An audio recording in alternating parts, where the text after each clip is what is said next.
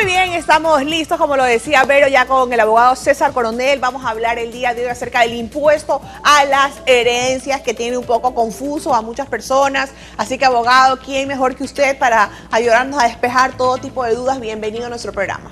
Muchísimas gracias, nena, amigas y amigos. Gracias por la invitación. Siempre es un gusto estar con ustedes. Es indispensable empezar aclarando que lo que hoy por hoy se está discutiendo es una propuesta del Ejecutivo al Legislativo para modificar el impuesto a la herencia. Primera aclaración entonces, lo que hoy por hoy estamos hablando es simplemente una propuesta que aún no es ley. Segunda aclaración, el impuesto a la herencia ha existido siempre. Simplemente lo que va a pasar es que se van a modificar algunos aspectos tanto desde la base impositiva como de los porcentajes a pagar en razón de esa base imponible. Perdón. Ok, abogado, ¿tiene que haber un testamento para que haya una herencia?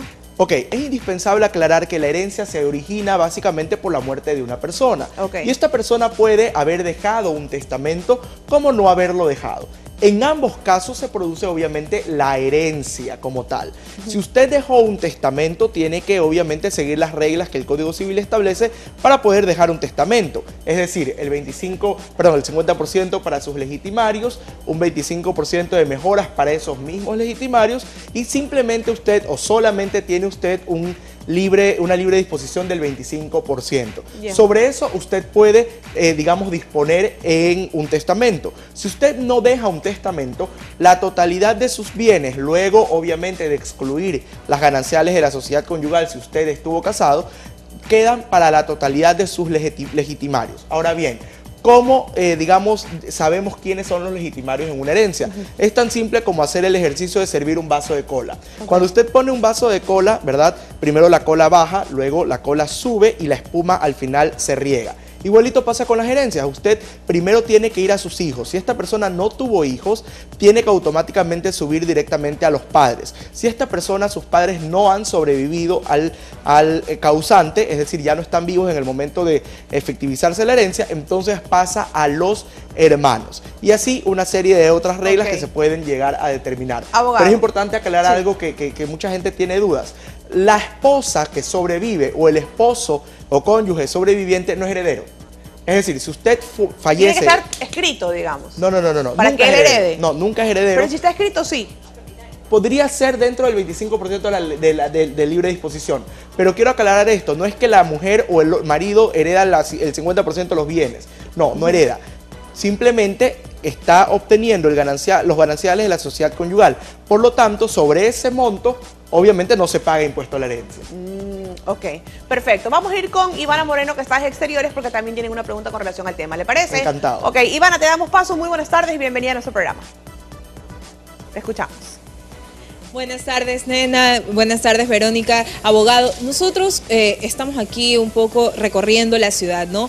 Para eh, captar cuáles son estas inquietudes que han surgido con respecto al tema del impuesto a la herencia. Y me acompaña Mónica Naranjo, que tiene una pregunta. Buenas tardes. Sí, muy buenas tardes. Yo quisiera saber a partir de qué monto este, las personas deben pagar lo que es el impuesto a la herencia. A ver. Un saludo para Mónica y por supuesto para Ivana, excelente reportera.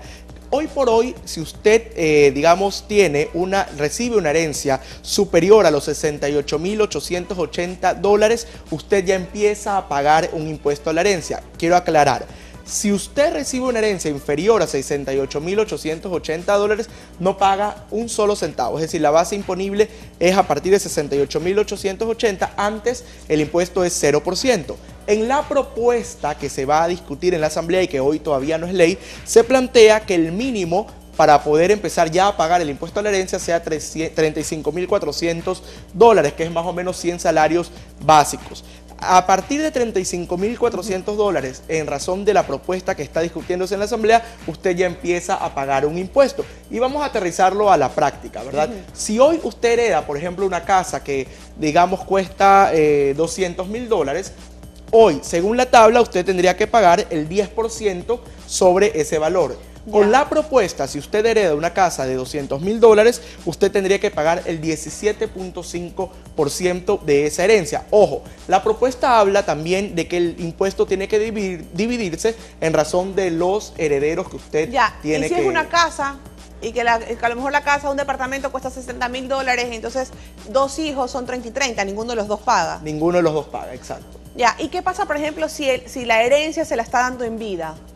Ya, es que no hay herencia en vida. Primero, no hay herencia en vida porque la herencia solamente se da en razón de la muerte de la persona.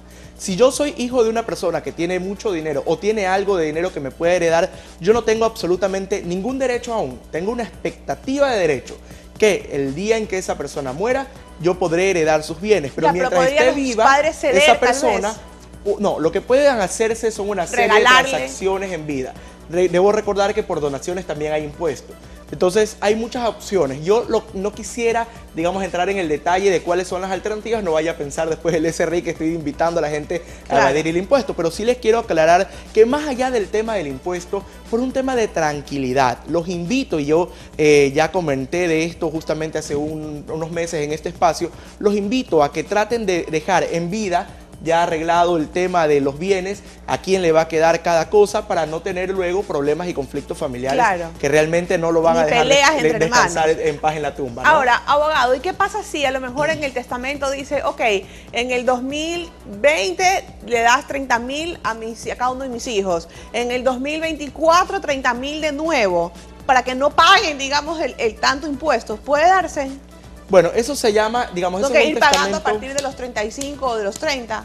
Ese es un testamento que implicaría, evidentemente, condiciones a cumplir para los herederos que tienen que... Obviamente, este tipo de cosas se pueden reglamentar, pero yo estoy seguro que el Servicio de Rentas Internas, en el momento en que se abre el testamento, va a procurar hacer el cobro inmediatamente también de la totalidad del impuesto. No sabemos cómo se lo va a reglamentar luego eso, pero lo que sí es claro es que debemos procurar en vía de dejar las cosas arregladas. Algo también que quería un poco conversarle a los amigos es el monto máximo. Hoy por hoy, si usted recibe una herencia superior a los 826 mil dólares, tiene que pagar un valor de 35% sobre esa herencia. Digamos, es lo que hoy máximo usted debe pagar. O sea, si yo recibo una herencia de un millón de dólares hoy, hoy, estamos mayo de 2015, perdón, junio de 2015, yo tendré que pagar hasta el 35% máximo.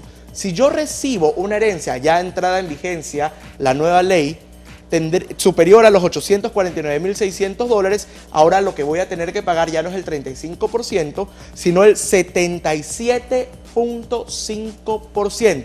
Es decir, si usted recibe mañana un millón de dólares, tendrá que pagarle al Estado por concepto de, impuesto a la herencia aproximadamente 775 mil dólares. Por lo tanto, es, importante, digamos, hablar de los mínimos, pero también de los máximos. el tope, así es. Gracias, abogado. Como siempre, un gusto. Y bueno, pues recordarles algo que nos dijo el abogado, es que el cónyuge no, este, no, recibe herencia, así que no paga impuestos, ¿verdad? Y también que si a lo mejor sus papás le dejan una casa a los cuatro hermanos o a los tres hermanos, el valor es dividido para todos y tampoco tendría que pagar un impuesto. Pues no, si, no superan los 35 mil dólares. Y por supuesto, si tienen alguna duda adicional y quieren seguir conversando de estos, de estos y otros temas, los invito a que me sigan en mi cuenta de Twitter, arroba ccoronelg, o me pueden escribir a mi dirección de correo electrónico ccoronelg arroba gmail.com. Siempre a sus órdenes. Perfecto, gracias abogado. Pasemos una pausa comercial y enseguida volvemos con más Vida en Forma hoy aquí en nuestro programa. Ya venimos.